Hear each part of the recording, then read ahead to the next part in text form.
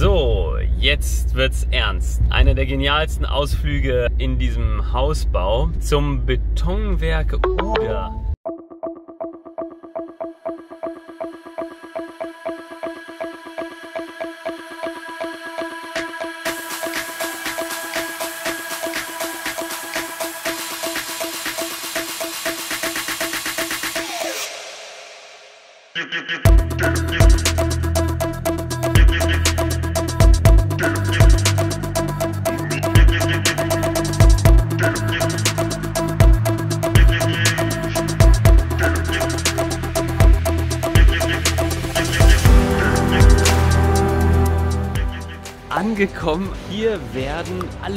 Möglichen Betonfertigteile hergestellt.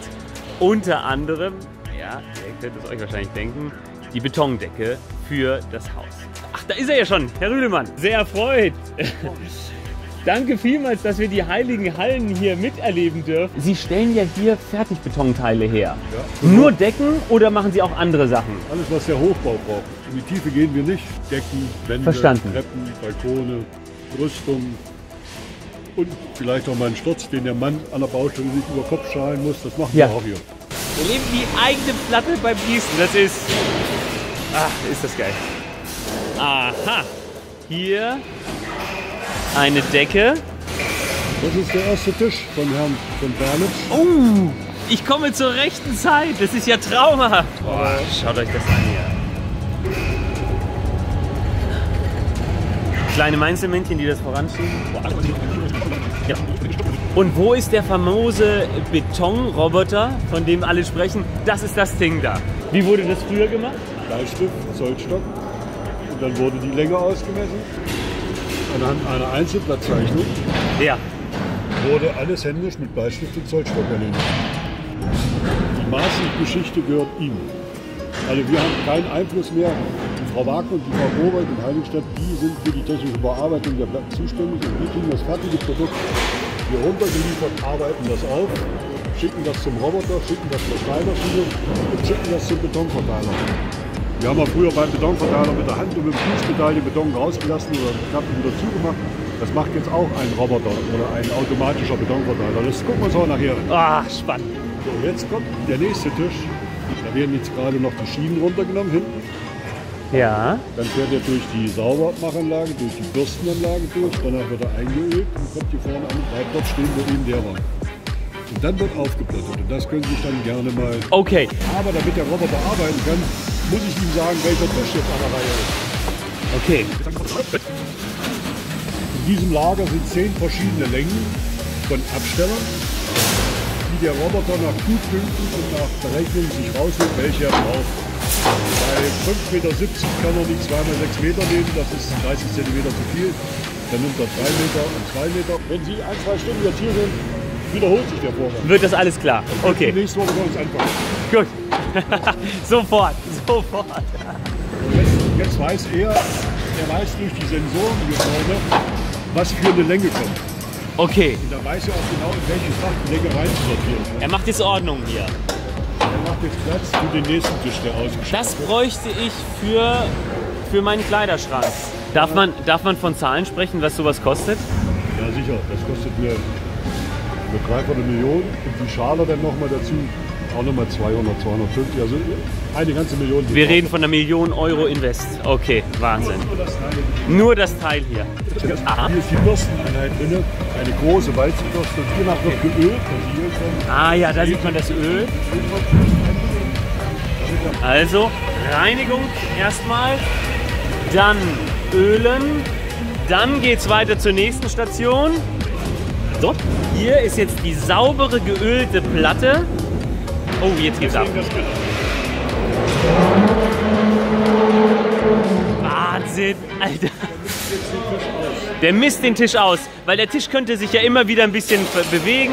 Äh, Es steht immer ein bisschen anders. Fehlt immer mal Millimeter. Genau, und er macht das jetzt, wie, mit welcher Präzision misst er aus? 2 Millimeter Unterschied auf 12,5 Meter. Oh, was macht er da jetzt? Da kommt wahrscheinlich eine Aufkantung hin. Okay, und was sprüht er da drauf? Und der Mann, der den Tisch jetzt mit Öl dann weiterbearbeitet, weiß, dass dort ein Einbau ist. Ach, das sind meine, ähm, das sind die Aufkantungen von, von den Treppen. Kommt hier eine kleine Ecke rein Ja, und hier hinten ist dasselbe noch. das ist für, für die Wohnung äh, Nummer 2. Ach, ist das geil. Seht ihr, hier wird jetzt alles eingezeichnet. Die Durchlässe werden auch eingezeichnet, damit man, ich weiß nicht, ob ihr das sehen könnt, dort, Das ist eine Aussparung. Wofür die ist, weiß ich nicht, aber die wissen das. ich weiß das ganz genau. Boah, das ist ja äh, Terminator. Na, komm schon. Zack, wird hingelegt. Und äh, wie hält das jetzt fest? Der wird runtergedrückt. Der wird runtergedrückt. Ich zeige Ihnen gleich so eine Schiene. Ah. Und mit welcher, welche Kraft hat dieser Magnet? 1000 Kilo von Haft. Das heißt also, Menschenhand kriegt den nicht ab. Also habt ihr verstanden? Da sind so kleine Knöpfe. Ich weiß nicht, ob ihr sie sehen könnt. Und gleich werden die runtergedrückt. Passt auf, gleich macht das. Zack. Bumm. Habt ihr den Knall gehört? Da sind die Magneten jetzt runtergekommen. Und diese Magneten, die da drin sind in der Schiene, die halten 1000 Kilo Gewicht.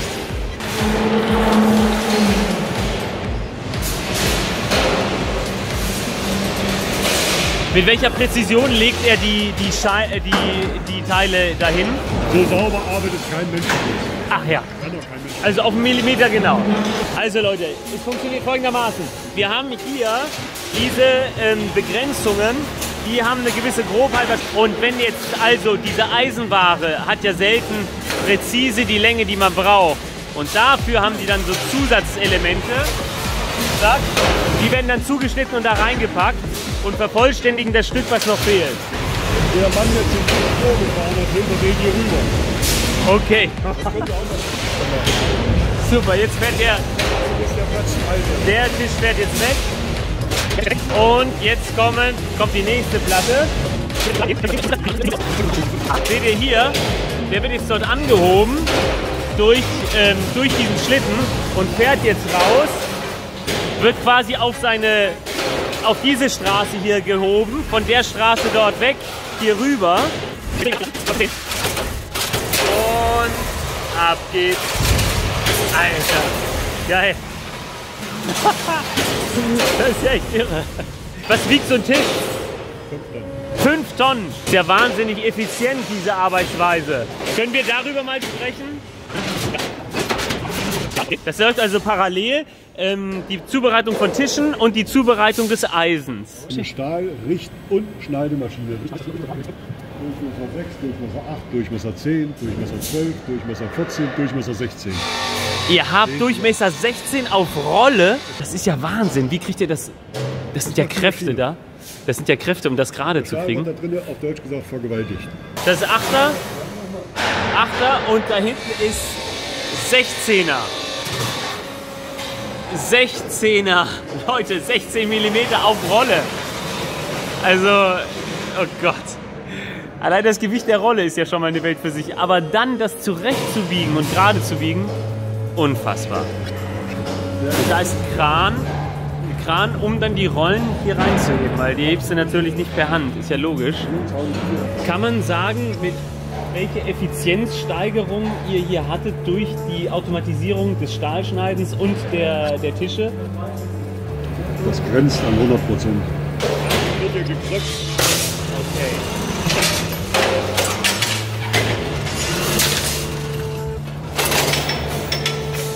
Okay, er stellt sich jetzt ein auf eine andere Breite. Wo wird geschnitten?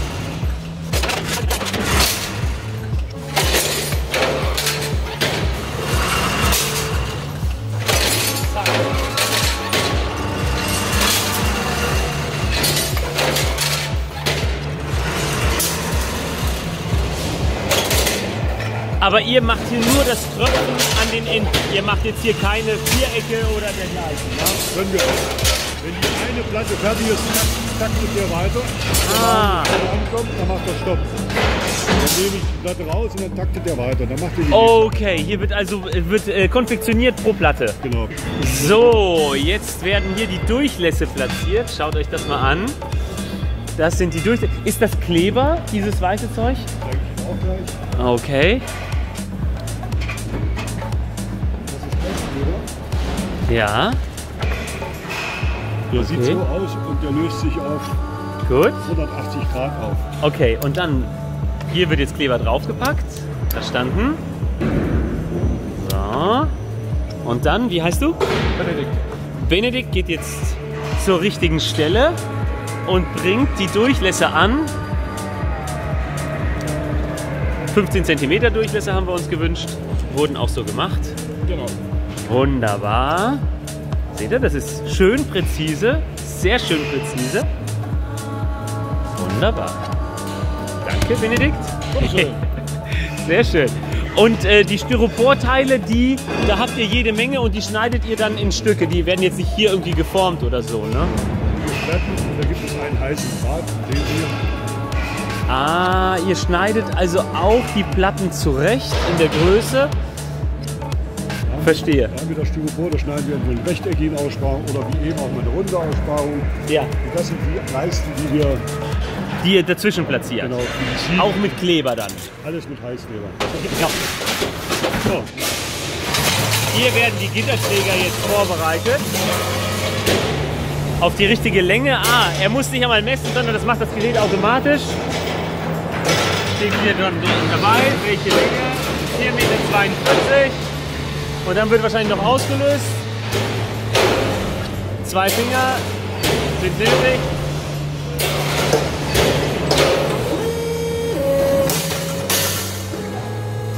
Brutal.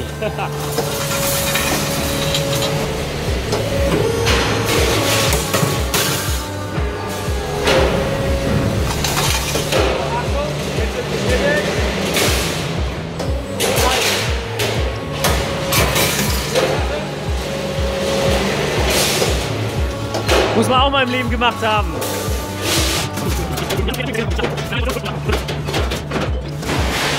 Puffer, Pufferstation, Pufferstation, Puffer Hier wird gepuffert, damit, verstehe, damit nirgendwo äh, Warte, Wartezeiten entstehen. Hier vibriert alles. Meine Platte!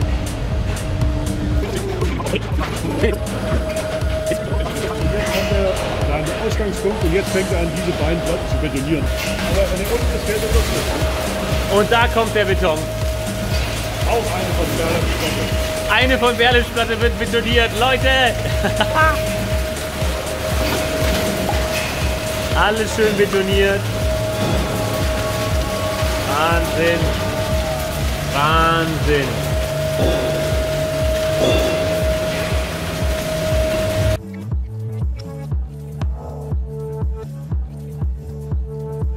Hier wird also jetzt genau äh, ermittelt, wie der Schalungstisch liegt, weil wenn der Schalungstisch einfährt, dann hat er ja immer wieder eine neue Position. Das ist ja nicht auf den Millimeter genau. Er muss es aber auf den Millimeter genau wissen. Jetzt werden eingezeichnet verschiedene Durchlässe und dergleichen. So, jetzt werden aus dem Magazin die Schalungsschienen, die passenden rausgeholt und exakt platziert und zwar auf den Millimeter genau. Genauer als das ein Mensch machen könnte.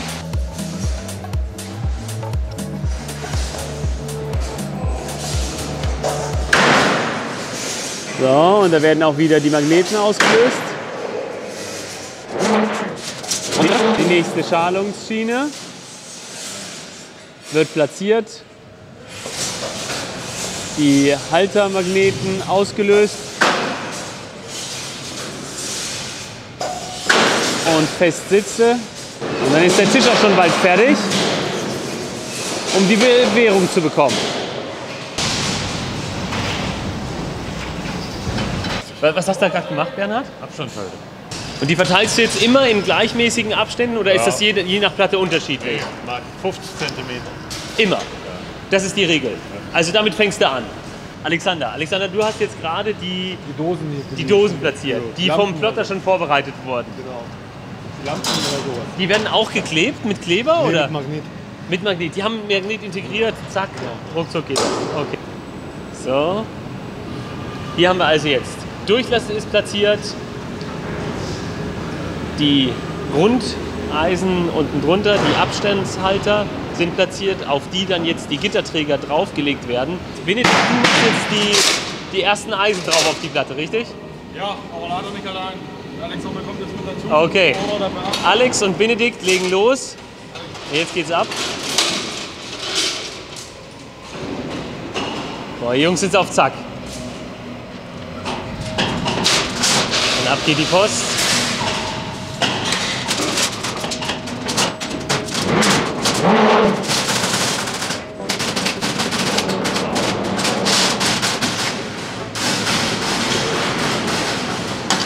Wahnsinn, nur durch Schütteln kriegst du das so präzise hin. Wie lange hast du dafür gebraucht, um das drauf zu haben? Nicht lang? Wie lange machst du das hier schon? 18 Jahre. Wie viel? 18. 18, 18 Jahre. Seit 18 Jahren bist du hier. Du gehörst zu den Mauern. Ja. Das heißt, du hast auch erlebt, bevor hier automatisiert wurde. ja, ja. Habe ich auch mitgemacht. Hast du es lieber automatisiert oder war es. Nee, ist lieber so hier. Da kann man weniger tragen. Aha. Fertig. Aber. Jetzt kommt die Getränke. Oh, das macht er so mit einer Hand. Okay. Gleichgewichtsübung. Ah, Wahnsinn. Wahnsinn, die haben es drauf, die Kerle. Normalerweise gehst du mit, äh, mit zwei Mann und äh, verlierst dabei, dabei wahrscheinlich noch eine Hand.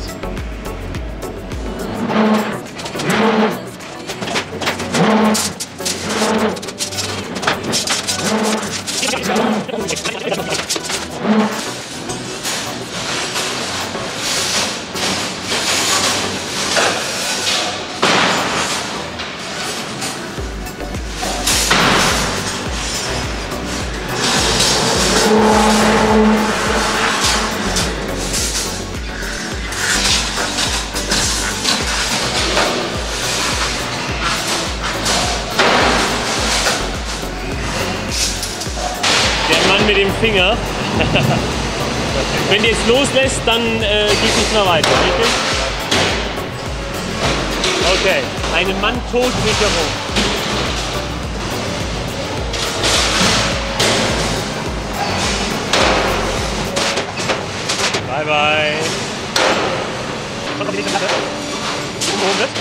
Die nächste Platte. Also diese Tische werden optimiert von der Planung her, damit äh, sie möglichst äh, gut ausgenutzt werden.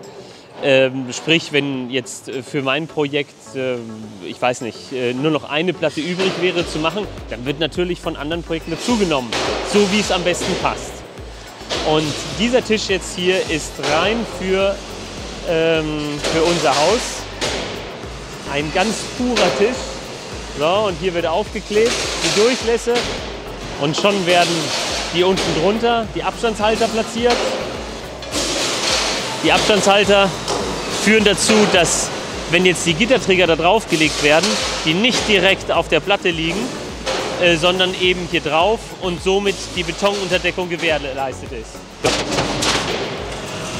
Jetzt wird geschnitten. Wird passend gemacht. Seit wie vielen Jahren machst du das? Fast 47. Wie bitte? 47? Du machst das seit 47 Jahren? Nee, der hat dann angefangen in der Lehre. Mit Du 16 gibt's das. Du machst seit 47 Jahren, schalst du Betonwerke. Okay, Nicht mehr lange. da hast du dir aber verdient, du. Wahnsinn. Du bist kurz vor der Rente. Das ist aber ein Privileg, dass unsere Platte von dir gemacht wird. Ja, ja ich bin gerade beim Schneiden und äh, da muss man einfach mal innehalten. ne? Bernhard, 47 Jahre Arbeit im Betonwerk. Tag ein, Tag aus. Zahlt in die Rente ein. Ich habe den ja erlebt. Ich habe den drei, dreieinhalb Stunden sowas in der Art. Eine Natur. Der geht seiner Arbeit nach, der diskutiert nicht. Der macht. Der macht am laufenden Band. Hat ein Lächeln auf dem Gesicht und ist offensichtlich ein herzenslieber Mensch. Also, den getroffen zu haben, das war es wert. Schon allein deswegen dieser Ausflug. Bernhard, Ich wünsche dir eine traumhafte Zeit nach dieser Arbeit. Genieß die Rente, genieß dein Leben. Bravo. Typen wie dich braucht unser Land. Schön. Dank dir. Also, das gibt dieser Platte nochmal was ganz Besonderes. Da hat jemand über 40 Jahre geackert und wir dürfen die letzten, in den letzten Monaten nochmal von ihm eine Platte bekommen. Ich habe ich hab gerade gehört, dass Bernhard seit 47 Jahren in dem Metier ist und jetzt im Januar geht er. Der Beste. Der Beste, ja. Wahnsinn, Wahnsinn, was der alles erlebt haben muss. Der kann einiges erzählen. Und so bescheiden. Aber das erlebe ich immer wieder im Handwerk. Die Menschen sind unheimlich, unheimlich bescheiden. Jetzt ganz minutiös aufgeklebt, ähm, was nötig ist, weil das konnte der Roboter nicht automatisch mit diesen, äh, wie nennen sich diese Metalldinger da? Schalschienen. Schalschienen. Die Schalschienen können halt nicht alles abdecken und was nicht von den Schalschienen abgedeckt wird, das wird hier mit Styropor aufgeklebt.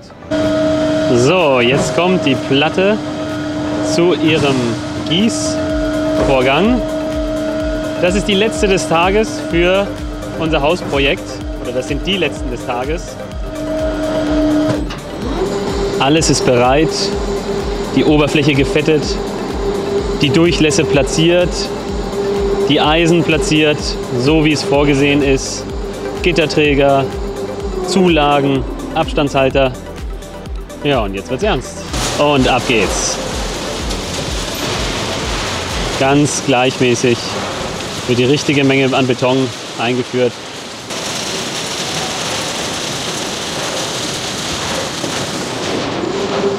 So sieht das jetzt erstmal aus. Die richtige Menge an Beton ist da, aber noch nicht fertig verteilt. Wie das funktioniert, das sehen wir jetzt gleich. Und jetzt beginnt der Prozess des Ausgleichens. Ihr könnt das nicht spüren, aber ich schon. Hier wackelt alles so ein bisschen mit auf dem Boden.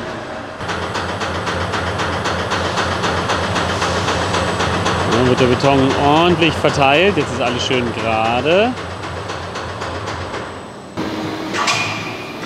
So, und jetzt kommt der letzte Schliff oder Unschliff, eher gesagt. Und zwar wird die Platte nochmal aufgeraut, damit dann der Verbund zwischen diesem Beton, der, dann hier aushärten wird, und dem Beton, der dann auf der Baustelle draufgegossen wird, damit der stimmt. So, und hier ist noch ein bisschen Handarbeit nötig. Hier werden die Gitterträger nochmal oben sauber gemacht, damit die Platten gut aufeinander gelagert werden können. Hier wird etikettiert. Mal gucken. Ja, das. Das ist für uns.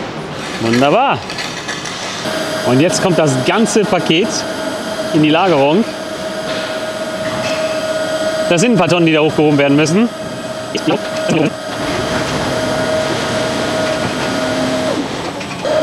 Und ab geht die Post. Eier, Eier machen. Knappe 24 Stunden trocknen. Bei den Temperaturen in der Wärmekammer, da wird ein bisschen gewärmt. So, und jetzt sind wir dabei bei der Geburt einer Platte. Die wird jetzt aus ihrer, aus ihrer Schalung gehoben ist der größte Belastungsmoment, den die Platte in ihrem Leben ertragen wird. Denn sie wird jetzt, sie ist ja jetzt wirklich total passend drin. Und um die rauszubekommen, ist dann natürlich ein gewisses Vakuum. Und ja, schauen, wie das anfühlt. Da kommt sie raus. Zack. Sauberst. Eine schicke Platte ist geboren. Kriegen die auch Namen bei euch, die Platten? Nein. Nur Nummern. Nur Nummern. Die Armen. So viele Väter am Meer. Gibt es hier noch Mütter oder? nur die, nur die Pin-Ups. so, jetzt wird die Platte freigemacht. Zack, ausgehebelt, die Magneten weggeräumt. auf die Produktionsstraße. Dort wird sie der Roboter reinigen und einsortieren, um sie dann aus seinem Lager wieder zu verwenden. Christian, wie lange machst du das schon? Sechs Jahre, also Sechs Jahre. ja, sechs Jahre. Ich bin eigentlich aber nur zur Aushilfe hier. Eigentlich mache ich Treppenbau. Treppenbau? Ja, ich bin gelernter Zimmermann und Hier im Werk aber, hier im Werk. Okay, verstehe. Und jetzt geht der Tisch in die Reinigungsanlage. Wird hier mit Bürsten gereinigt, erst an der Seite, wie wir hier sehen. Hier richtig schön poliert.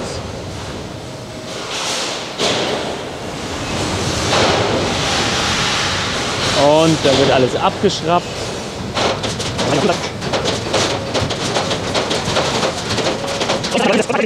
Das ist. So, hier haben wir die ganzen Reste.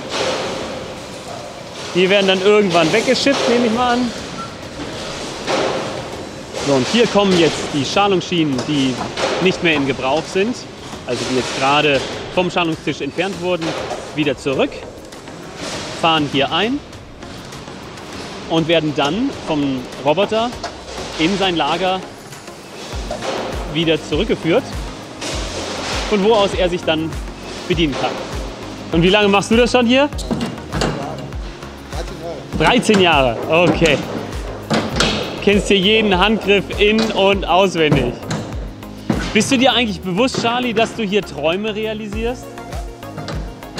Ist doch, ist doch ein tolles Gefühl, ne? Ihr habt hier eine tragende Rolle im wahrsten Sinne des Wortes. Sven, und seit wie vielen Jahren machst du es hier? Sieben Jahre. Ihr seid ja alles Urgesteine hier in dem Betrieb. Hier ist ja kein Kommen und Gehen. Ihr seid glücklich hier. Ist nicht so wie anders. Eine eingeschworene Gemeinschaft. Merkt man auch, ihr seid, ihr seid echt ihr seid gut zusammen und eine gute Stimmung zwischen euch. Schön. Glückliche Platten macht das. so, und jetzt werden die Platten wegtransportiert. Bis zu 18 Tonnen kann der hochheben. Der gute Kerl.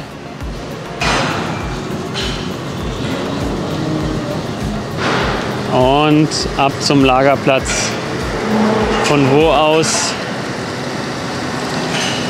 dann die Lastwagen bestückt werden. Und dann geht es zur Baustelle. Und dann werden Träume realisiert.